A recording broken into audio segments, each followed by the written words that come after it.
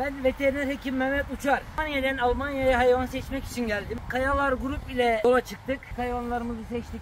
Güzel hayvanlar seçtiğimizi düşünüyorum. Bizim istediğimiz şekilde seçim yapıldı. Onların istediği gibi değil. Yani bu konuda çok şeffaf davranılıyor. O konu için çok teşekkür ediyorum kendilerine de. Ben aslında Danimarka ve Almanya'dan hayvan almak için gelmiştim ama Danimarka'daki hayvanlarla buradakileri mukayese edince fikrim değişiyor gibi oldu. Ağırlık Almanya'yı tercih etmek zorunda kaldım. Bu zamana kadar seçtiğim hayvanlar da gerçekten çok güzeldi. Çok hoşuma gittiler. Beğenerek aldım, isteyerek aldım. Hemen hemen seçimlerimiz de aşağı yukarı tamamladık gibi duruyor. 9000'in üzerinde ortalama süt verisinin altına inmedik. Ayak bacak yapılarına, meme yapılarına dikkat ettik. Bazı iyi olup ama memesi eksik olan hayvanlar vardı. Onları tercih etmedik. Durum bu şekilde. Teşekkür ediyorum. Kayalar grubu da bölgede hayvan almak isteyenlere özellikle tercih etmelerini istiyorum.